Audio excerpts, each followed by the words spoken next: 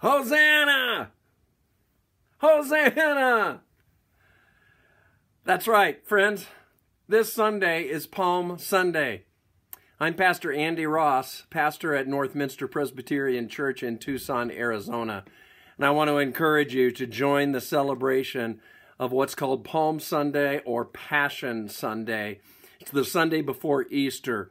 And we're reminded about how when Jesus rode into Jerusalem, whoo, there was cheering.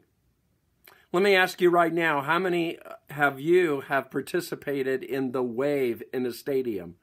Woo! First couple of times it's like, wow, that was fun. Ninth or twelfth time, you know, make it stop. I want to eat my hot dog. I want to watch the game.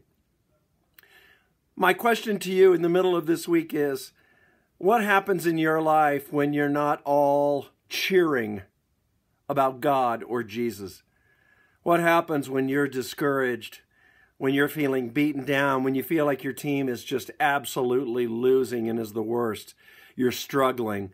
You can't get a hosanna to come out from your mouth. Well, the good news for your Wednesday, friends, is that Jesus rode on for you anyway, even when the cheering stopped and then became crucify him. This weekend, we're going to take a look at that at Northminster in our worship services and what happens when our emotions aren't there, but we still need a Savior who's there. Friends, I want to encourage you today, in the middle of this week, that whether you're cheering hosannas or just quiet in struggle, Jesus still rides for you. He went to the cross for you. He died so that you could find life.